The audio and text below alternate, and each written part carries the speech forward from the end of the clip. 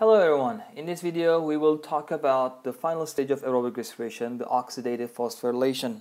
Oxidative phosphorylation takes place in the inner mitochondrial membrane. Remember that a mitochondrion has double membrane, inner and outer membrane, and the inner membrane makes foldings called as cristae. The reason that the inner membrane, the cristae, makes foldings is to increase the surface area. But for what? The energy for the phosphorylation of ADP to ATP comes from the activity of the electron transport chain or ETC, which is in fact a group of proteins embedded on the membrane, on the inner membrane. So the larger the surface area, the more the ETC complexes embedded on the membrane. Okay, since our journey started with one single glucose molecule at the very beginning, the only place where ATP molecules are formed was during the glycolysis and during the Krebs cycle. And those ATP molecules are produced by substrate level phosphorylation. So far till ETC, the number of ATP molecules produced are two from glycolysis glycolysis and two at the Krebs cycle. So four ATP molecules totally is quite low. So where's all this energy from glucose? In all the stages of aerobic respiration, including glycolysis, the link reaction, and in the Krebs cycle, hydrogen atoms are split and are carried by electron carriers. The most important contribution of the Krebs cycle to the cell's energetics is the release of hydrogens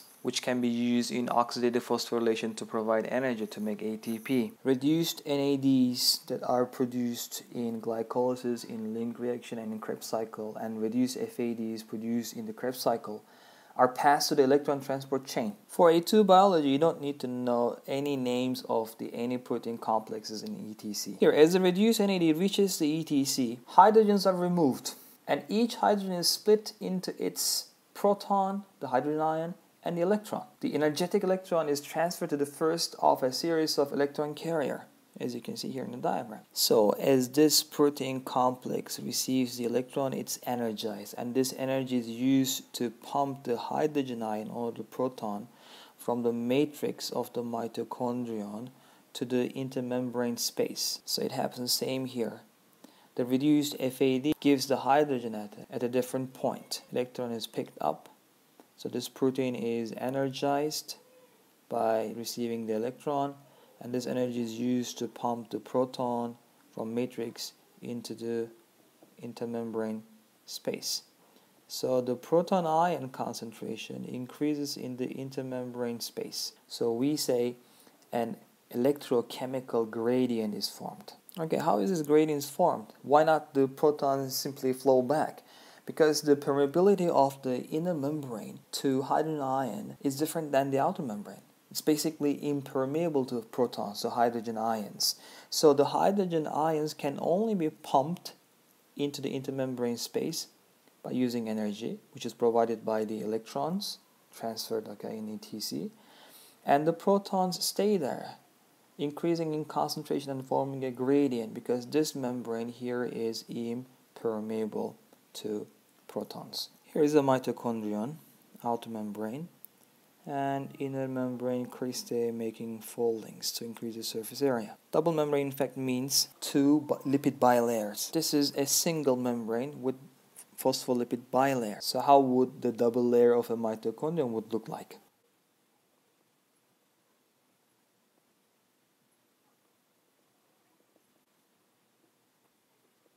So where is the ETC? The proteins of electron transport chain are located on the cristae like this. So there is in fact a space between the two membrane of the mitochondria called as the intermembrane space. The last component of ETC is a very special protein called as the ATP synthase As you can guess from the name, ATP synthase is an enzyme. Due to the electrochemical gradient of protons on the inner membrane space of the mitochondrion, the hydrogen ions or the protons start moving down the gradient, but through the ATP synthase. ATP synthase is a very special protein complex which is actually made up of uh, several units. So as the protons flow through it, the ATP synthase rotates and the kinetic energy is released and this energy is used to form ATP from ADP and inorganic phosphate. This type of energy production is called as oxidative phosphorylation because this includes the oxidation and reduction of the protein complexes in the inner membrane of the mitochondrion. And the flow of these protons down the electrochemical gradient from high concentration from the intermembrane space into the matrix, that flow is called as chemiosmosis. The reason we call this aerobic respiration is oxygen is involved.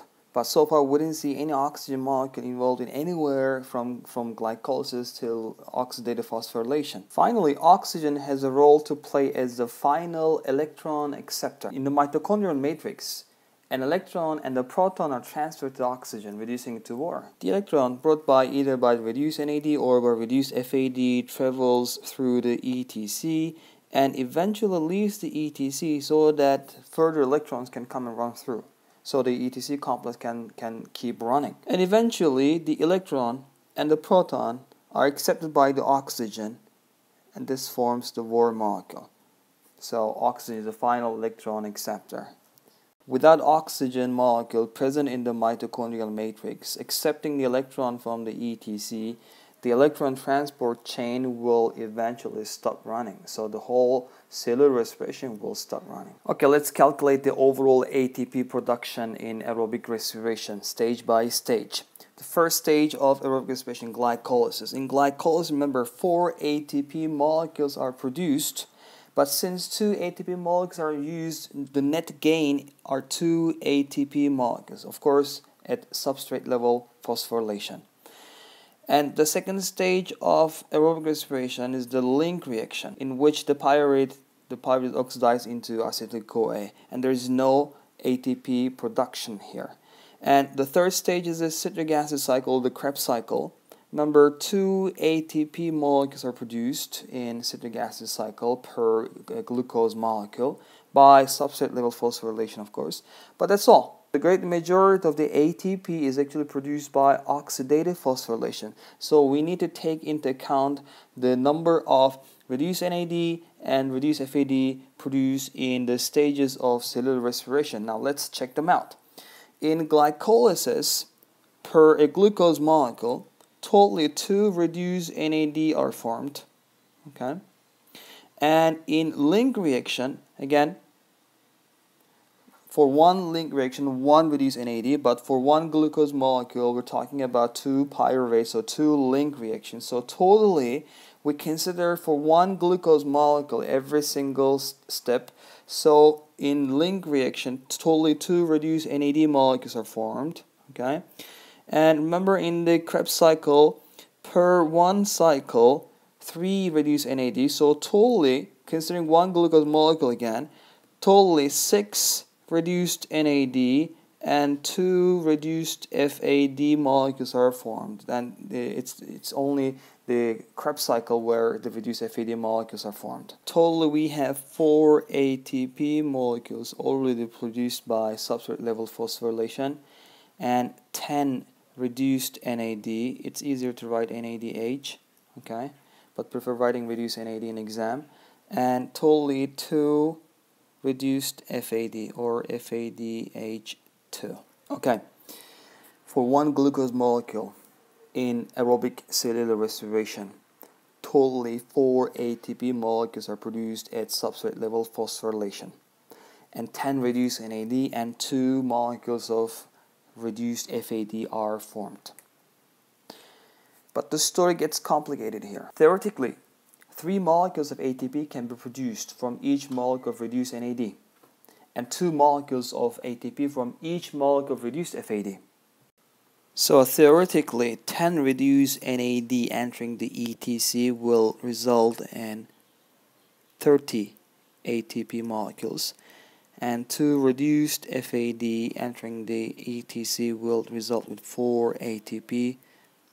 Totally 34 ATP molecules will be produced by oxidative phosphorylation. This yield cannot be achieved unless ADP and inorganic phosphate are available inside the mitochondria.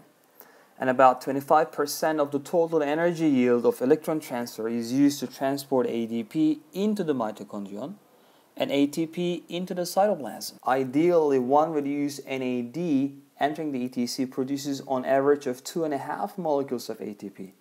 And each reduced FAD produces 1.5 molecules of ATP. And this changes the overall number. 10 times 2.5 means 25 ATP molecules from reduced NAD molecules. And 2 times one and a half means 3 ATP. Totally 28 ATP molecules are produced by oxidative phosphorylation. So 4 ATPs from substrate level and 28 ATP molecules from oxidative phosphorylation. Totally 32 ATP molecules are produced per one single glucose molecule. So which numbers are you going to use? Well, there hadn't been any question in the past in A level asking numbers of ATP produced per glucose molecule. But the Cambridge biology textbook follows this ideal number. So according to Cambridge, even though theoretically 3 ATPs per 1 reduced NAD is produced, ideally 2.5 and ideally 1.5 ATP molecule produced per each reduced FAD entering the ETC. That's what you need to follow up. Well, here is the same diagram that I used, and here is the table that I've taken from the Cambridge textbook. As you can see here, by oxidative phosphorylation, totally 28 ATP molecules are produced, which means that Cambridge textbook has used the number that is in reality, an ideal number. Well, since I've taken this diagram from a university textbook, there seems to be a, another problem, which is a very technical uh, problem here. You don't even need to bother yourself if you are an A-level student or a SAT biology student, but extra detailed information won't hurt. The diagram here shows the total number of ATPs produced per glucose molecule as either 30 or 32. So where does difference come from? Remember, the two NAD molecules are produced in glycolysis and they're in the cytoplasm. As these NADs enter the mitochondrion, their energy efficiency decreases. It means that sometimes the hydrogens are picked up by FAD instead of NAD as they, uh, as they enter the mitochondrion. Well, theoretically, two reduced NADs produced by glycolysis as they enter the mitochondrion may lose their energy efficiency, resulting in two less ATP molecules produced. But just forget about what I said recently, okay? Per one glucose molecule, the total number of ATPs produced in aerobic respiration, according to A2 biology, is 32 molecules. That will be all for this video.